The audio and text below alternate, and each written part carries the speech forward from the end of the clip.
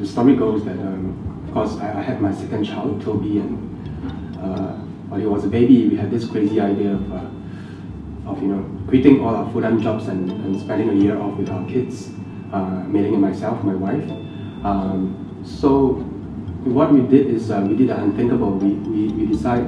um, to kind of fund our shop, and the only way to do it is uh, to to sell our home, move to a small apartment, and through whatever sales proceeds we have to, to start a shop like this.